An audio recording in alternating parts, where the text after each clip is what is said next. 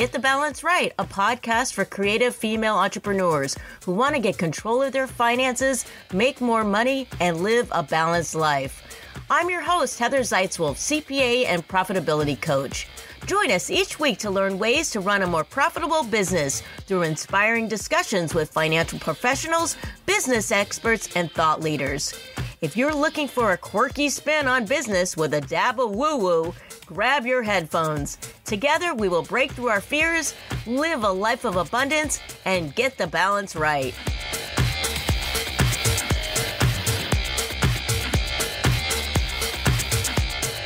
Hello, and welcome to Get the Balance Right podcast. I am your host, Heather Zeitzwolfe. In this episode, we are talking all about the importance of planning like a CEO to get away from the constant hustle and grind. Ugh and build a more sustainable business so that you can predictably achieve your revenue goals. If you're listening to this podcast as it's coming out, we are coming up on the end of the year. Oh, and I urge you all to schedule time between now and the end of the year to have a CEO retreat. Yes, a retreat just for you. The purpose of this retreat is to reflect on the current year and then plan out the next year. Now, I know we are in some crazy times, but if you can get away from your normal settings, like if you live in an apartment or a house, a tiny home, yurt, or wherever you live, get away from that. That would be best for this retreat you want to go away for at least two to three days. That's ideal. And if you can go somewhere such as a hotel room or an Airbnb or a boathouse, I think that would be really cool to have a retreat in a boathouse. Just make sure that wherever you go, they have Wi Fi, or at least you can use your cell phone as a hotspot. Just make sure of that because you want to be able to access the internet. Now, I don't want you spending all kinds of time answering email. No, but you may want to use the internet for searching things and looking at some of your software that you have. Okay, more to come on that. Now, here's the thing the CEO retreat should not include your parents or your partner or your kids or your furry friends, any of that. You want to just get away. If you'd prefer not to go alone, then find a friend who is an entrepreneur and go together as long as you don't spend all of your time goofing off, traveling around, shopping, it's not for that. Instead, utilize the benefit of having a friend to hold each other accountable. Shout out to Jen McFarland from Epiphany Courses. She has agreed to go along with me and be my CEO retreat buddy. We're going and staying away at the beach. And why did I pick Jen McFarland? Well, not only do I enjoy hanging out with Jen, but I know that she will be a great person to brainstorm with. And I know that she will take this retreat seriously. In fact, she was super excited about this because she said that was exactly what she was thinking she needed. Now, why is she a great person to brainstorm with? Well, case in point, she was on my podcast episode number 14, where we discussed working smarter by achieving your goals the right way. If you haven't heard that episode, it is chock full of goodness, and I'll include a link in the show notes. So please check that one out if you haven't heard it. See, here's the thing I know that Jen will take the CEO retreat seriously and we'll be able to bounce ideas off of each other. That is exactly what you want in a CEO retreat buddy. Otherwise, go by yourself. Now, when the retreat starts, be sure to spend time reflecting back. This is super important. You can start by journaling to jog your memory of what happened in your business this current year. You can also do a brain dump of all the things that you accomplished, if you can remember them, and then reflect on the things that didn't work maybe your fails or maybe things that you wanted to achieve but you just never got around to or it got kind of half baked and you never really finished them it's really important to get all those down on paper so that you can look back and be like wait a minute why didn't I finish this? Oh my God, I forgot I even had that and I wanted to implement this and I never did. But why? That's all the good, juicy stuff you want to be thinking about. One thing I love to do is reflect on all the people that I met. Just brainstorm all the people I met and who they are connected with, sort of like a web.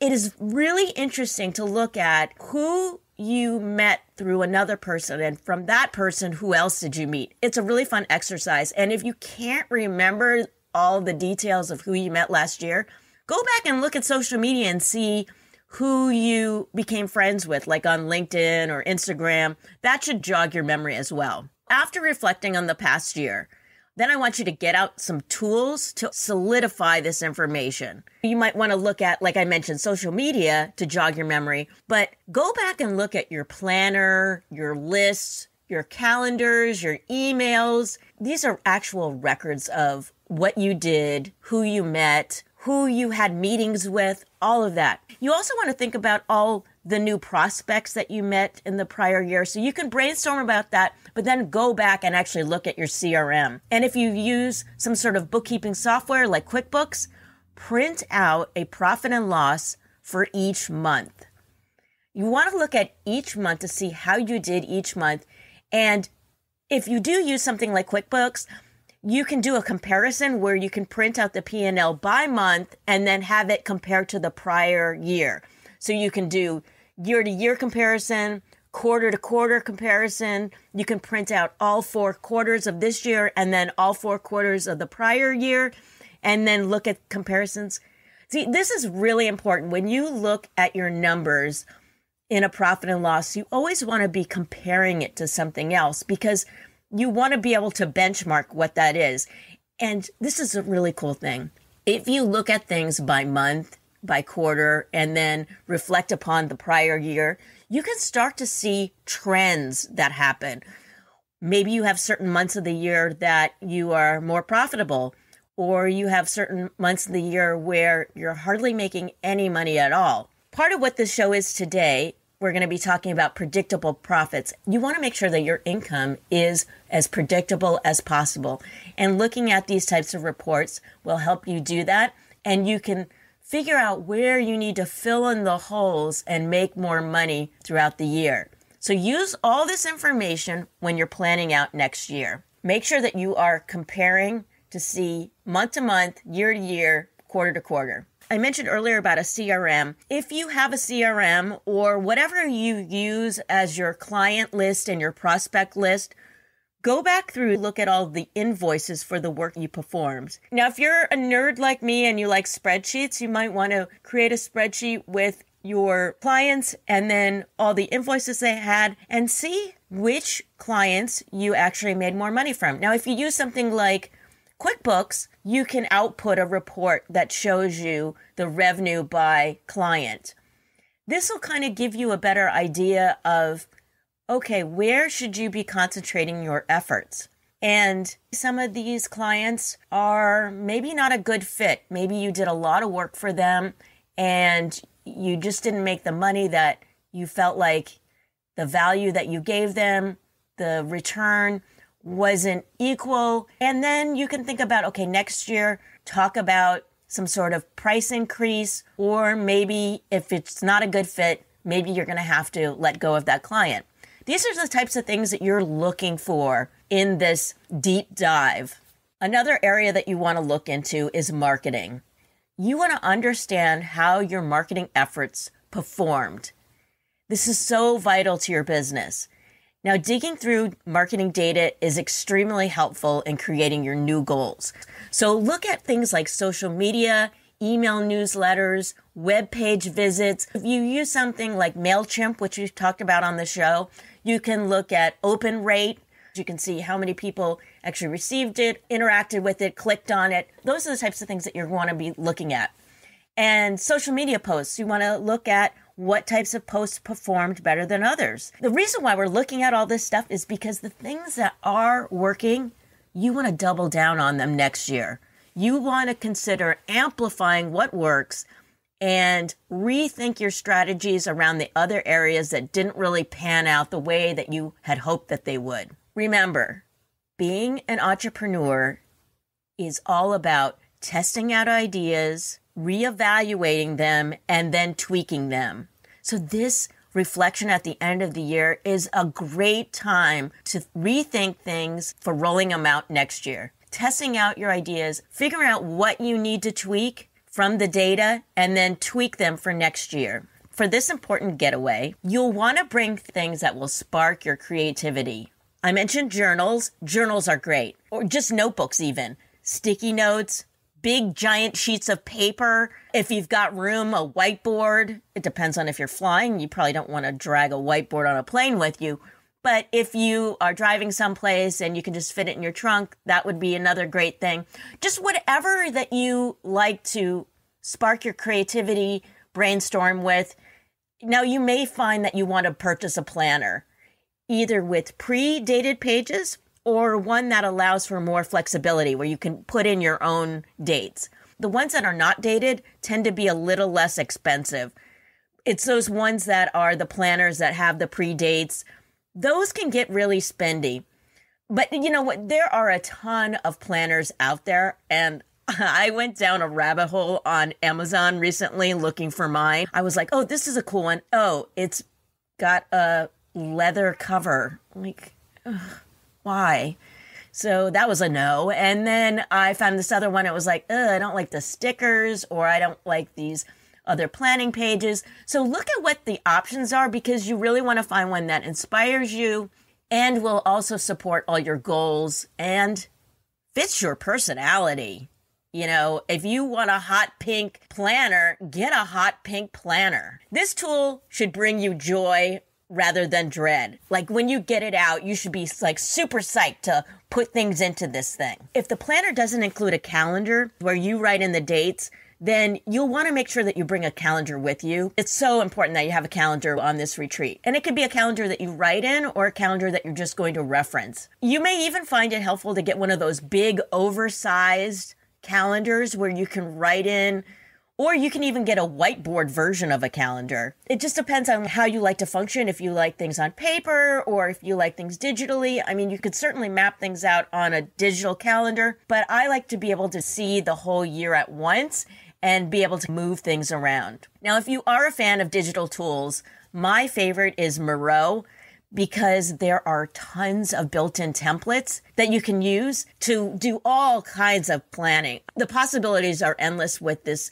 program, and you can easily create your own templates and save them in there. Plus, when you get back from your retreat, you can actually invite users such as like a VA to access your boards, your templates that you've created. There is a link in the show notes for Miro. I am an affiliate. I love this program.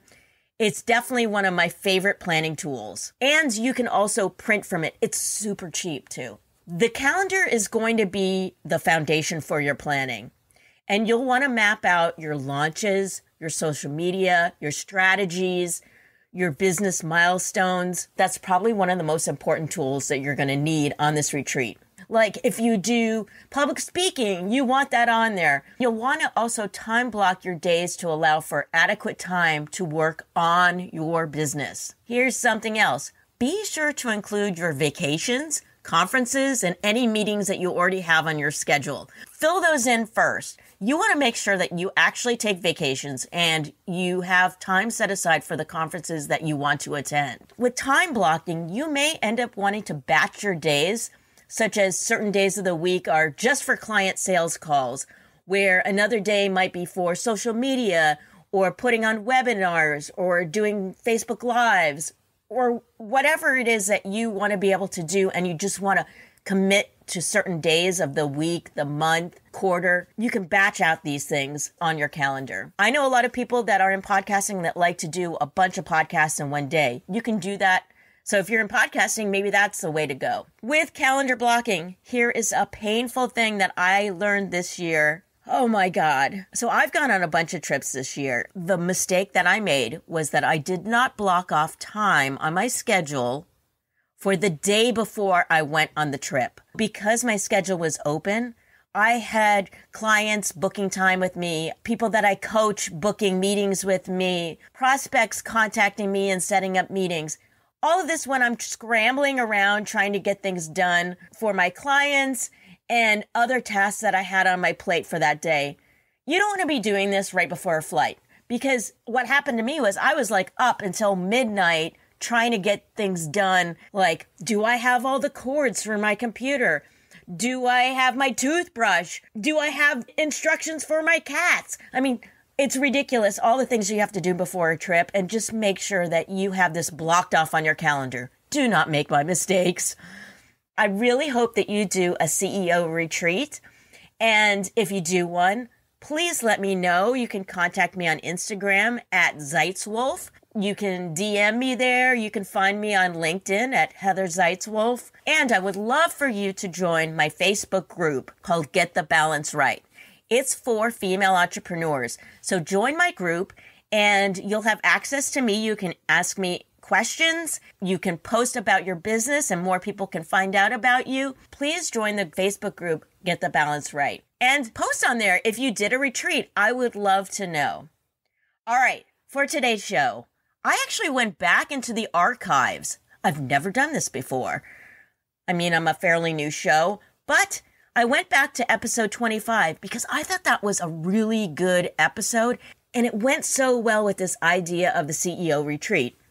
So, my guest on that show, episode 25, was Racheal Cook from the podcast Promote Yourself to CEO. This is one of my favorite episodes, and that's one of the reasons why I decided to bring it back. This is actually a shortened version of our conversation. So if you'd like to hear the whole shebang, go back to episode 25. It's a lot longer than this cut of it.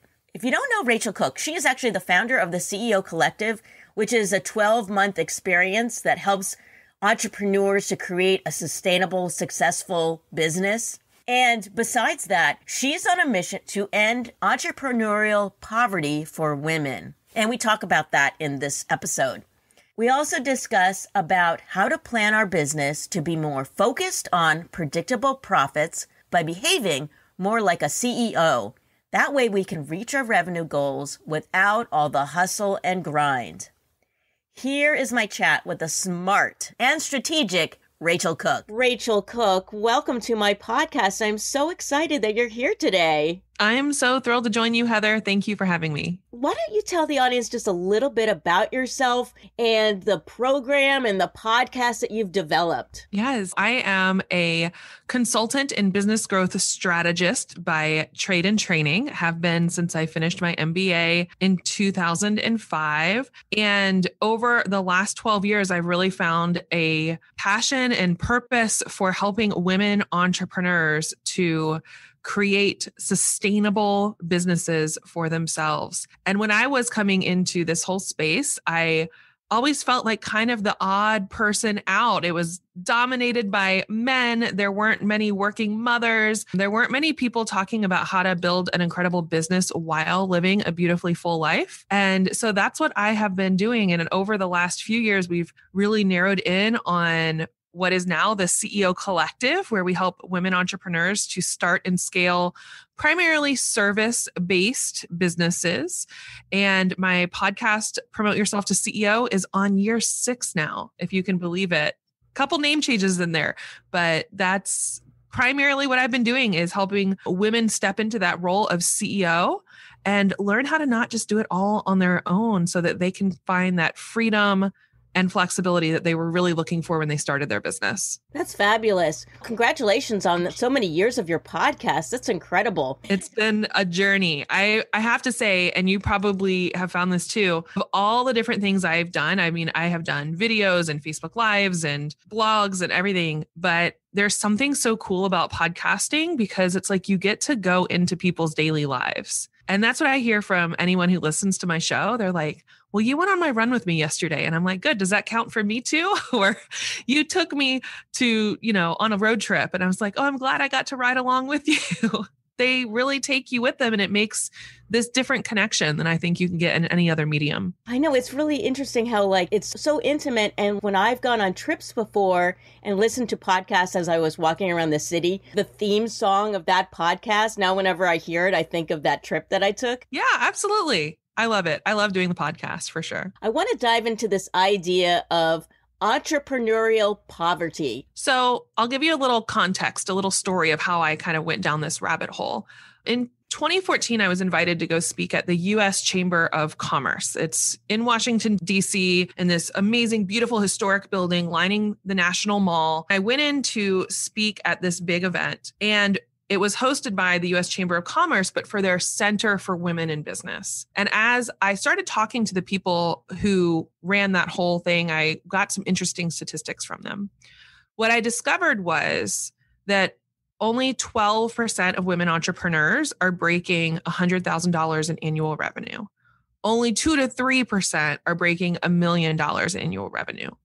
On average, women owned businesses undercharge 28% less than men doing the same type of work. And it started to get me thinking because I know I left the traditional corporate consulting world because I was feeling a lot of the things we talk about that women face in the consulting or in corporate world in general where you feel like you can either go down your career path that you really can see yourself going down or you can completely stop everything and become a mom. And that was the decision that really had me wanting to get into doing my own thing because I wanted a family. And I could not see anybody like me who was doing it well, doing that career well, while also having small children. And so I started going down the rabbit hole some more and I was like, okay, how can we really have it all? Is that even a thing? Is that possible? And what I discovered is women are not only paid less and make less in their businesses, but they usually have less time freedom than they had hoped for. And they also start to have less energy long term. And this becomes a trifecta of what I call entrepreneurial poverty because we, a lot of the women I work with, started their business for more freedom, for the ability to make um, amazing financial independence for themselves and their family, for the flexibility of building their business the way that they want. But what they often run into, and the statistics support me in this, is they're not making as much money as they had really hoped. They are depleted because they are doing so much all by themselves. So they have no energy to continue to do the things they want in their life. I realized there had to be more of a holistic approach to building businesses because the messages that are out there in the world that are primarily shared by men, they're not facing the same things that we face as women. They're not facing the same challenges. You rarely hear about men having to choose between being a parent and being ambitious in their career or men have to take a step back in their career because they have to take care of aging parents, which I've also been in that sandwich generation where I both have small kids and a disabled mom. These are all issues that impact women far more than they do for men. That's where I have been coming in to say, okay, we need to escape entrepreneurial poverty. We need to talk about how can we build more sustainable businesses that don't require us to work 24 7, that don't require us to be on demand to everybody, and make sure that they're businesses that are predictably profitable so that when we need to take time off, whether it's for a vacation or because you're ill or because you just want to have some time with your friends or family or whoever you care about, that it doesn't impact your business. I do people's tax returns, so I see a lot of small businesses and how they're spending their money, how they're not receiving enough revenue, but I find they will pay other people, contractors, employees, far more what they receive because they think, oh, I've got all this income coming in, but they're not really looking at what the net income is. It's actually pretty tragic. They might be happy that they don't really have to pay much in taxes, but that's not really a good thing. No, absolutely. I think this is one of the things where, I mean, and you see this with taxes. No one really understands how taxes work. Well, when you start a business, no one really goes into business thinking, how do I make sure I have the salary I want first? What is the salary I want first? And then build the business to support that. Usually, what happens is entrepreneurs wait and they get whatever scraps are left over at the end of the month. Like, ooh, I have a little bit left over. I can pay myself this month. And we need to build it differently. One of the first things I always do is sit down and say, okay, you're CEO of this company. What is your CEO compensation package going to look like? And then we're going to get the company to fund that for you. This might look different for everybody, but I would never go take a full time job if they didn't offer me paid vacation, if they didn't offer me benefits, if I didn't have some good perks to the job, I made sure I listed out all the things. Like if I were to have my dream job, what would I want to get paid? How much time off would I have? What would my flexibility look like? How much would I have in retirement? How much would I be able for life insurance or disability insurance or any of those things? And I actually thought through all of those little pieces. And that's what I encourage my clients to do. Because if we can't get clarity on how you're going to take care of yourself, you will not have longevity as an entrepreneur, especially and this is something I get really passionate about. Women are more likely to either be divorced or outlive their partner. And more women in old age are in the poverty level. Three out of four women are under the poverty level once they get past a certain age. It is because we don't have these financial things in place and we haven't made sure that we have those things in place. So if we want to make sure we're building that security for ourselves, we have to think like this. We can't just hope and cross our fingers that the business will make that happen. Uh, you have a CEO scorecard. What is that exactly? So I developed an entire system to help my clients understand the value of their time because often we only think of the time that we're actively getting paid, like our billable hours or what our clients have paid us to do work with them. What we don't tend to account for is all the other stuff that takes up running a business. And the truth is, not all tasks are the same value for your business. It is really hard to understand that though until you do two things until you track your time and energy and until you pay attention to how much energy are you giving to lower value tasks versus higher value tasks. So I actually put together a scorecard approach, which is something that comes from my consulting days. But basically, you, you track all your time. And then for every task you did, you give it a value. There are $10 an hour tasks. These are usually admin tasks, customer service, very basic level tasks. Then there's the $100 an hour tasks. These are usually a little bit more skilled, but they're not really growing the business. They're kind of just maintaining the business. Then we get into the $1,000 and $10,000 an hour tasks. Now, as the CEO, you don't want to spend time in the $10 an hour bucket. You want to spend it in the higher level $10,000 an hour bucket or $1,000 an hour bucket. These are going to be sales related tasks, strategic planning related tasks, leadership tasks, or making sure that your business is going out there and getting the visibility it needs in order to bring in the sales that you want. The scorecard approach is really about giving ourselves a frame of reference to understand what your sweat equity is. Like, are you putting your time and energy in the right place? Because if you were getting paid, let's say a million dollars a year, or if you were running a million dollar a year business, and would you answer all your emails yourself? Or would you be doing your bookkeeping yourself? Well, if your goal is the million dollar a year business, we have to shift how you're showing up today. We can't wait till you get there to finally get that support or to finally put the systems in place. So, if an entrepreneur is in that growing stage where if they hire people, then they might go into entrepreneurial poverty, it's finding that balance. Now, I realize that if they just got a few hours off their plate, then that would free up enough time to do these higher level activities. How do you balance that? Yeah, I believe in sustainable growth. I have definitely seen businesses implode because they try to go after growth at all costs. And these are the businesses, it sounds cool, right? Like double, triple your business in a year. But when you understand what goes on behind the scenes, if you were to double or triple your client load, do you have the infrastructure or the systems or the customer support team? Are you able to deliver all of that? Like there's a lot that goes into rapid growth. So mm. I tend to look for about 25 to 40% a year, I feel like is more sustainable. So if you're aiming to grow at about 25 to 40% a year, you'll double your business in a few years, which means you can take your time finding some support and hiring people a little bit at a time and then helping them grow with you. You don't have to over invest in help. And these days, I mean, this is something that was such a shocker to me when I started building out my team in my mind, I thought, I have to have employees and it's going to cost so much money for me to have support. And then I realized, oh, there's people who they actually just want to support me. They want to be my assistant. They love the idea that they can do this work from home. It takes a couple hours a day. And if they free up that couple hours a day for me, I can spend those couple hours on sales calls or working on my visibility for my business. It was really about buying back my time, like $500 a month at a time until I could free up most of my time and energy. Now, if you were to look at my calendar, I really don't spend any time in admin or operations at all. The day to day is handled, someone else is taking that on. I didn't start there, it took me a couple of years. But I did start with an assistant who could tackle the one thing that was becoming a bottleneck for me, and that was managing my inbox, managing customer service, managing scheduling, all of those things and just getting some help about five hours a week was the first step towards getting my time back to focus on the higher value tasks. On your podcast, you talk about predictable profits and not constantly being in this hustle mode. And I believe that hustle mode, although it sounds cool to hustle, it's really not a good situation to be in constantly. Can you explain a little bit more about the importance that you feel predictable profits gives you? Yeah. What it gives you is peace of mind, knowing that you're not going to have to start each month at zero. And I know a lot of entrepreneurs go through this.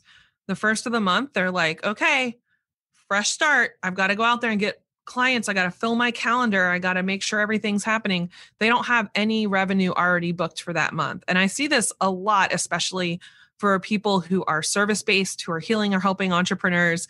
They're constantly trying to sell one hour at a time of their work. That is a really hard place to be because what if you can't fill all those hours that month? What if you have clients who are canceling on you? What if you just want to take a break or plan for maternity leave or anything? It's almost impossible if you don't have something already coming in. You're not giving yourself the flexibility you need in your business. What I love is that at the start of each month, I've already got all of my expenses, including my salary, covered. That's the power of having predictable profits because I planned my business to give me that peace of mind. I know what it costs to run my business, pay my team, and pay myself. I've designed all of my offers in a way that make it really easy for me to get paid, that make it really easy for every month I have that recurring payment coming in. This is one reason I'm a huge fan of retainers or payment plans or things like that because over time as you continue bringing on more clients, then you have that consistent revenue coming in. So a great example of this, you work in taxes and and all of the financial side of things. Usually when I've worked with a CPA in the past, it's been I don't really have much interaction with them until tax time. And then they do their thing and I get a bill and that's it. But I imagine that's a really hard business model because you're really only getting a lot of cash once at one time of the year. Well, I started working with a new CPA and he said, Okay, Rach, this is the new system that I'm putting in place. It's like, let me hear it. He's like, I have a rate for doing the final tax preparation stuff. But what I really want to do is put you on a monthly retainer. And this covers our quarterly call to make sure that everything is in order. I want to put it on auto pay. And that way we've already got this built into the system. I don't have to wait or try to remember to call him to book that quarterly appointment to make sure we're all good for whatever we need to turn in quarterly. It's already scheduled and he doesn't have to wait around until tax time for all of his revenue to come in. He's already planned it by making sure all of his clients who he's working with in this way are paying him a little bit each month. It smooths out the cash flow and just makes life for everybody a little bit easier.